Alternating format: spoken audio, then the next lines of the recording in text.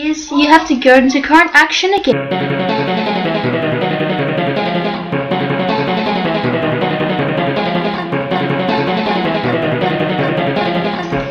Is you have to go into current action again.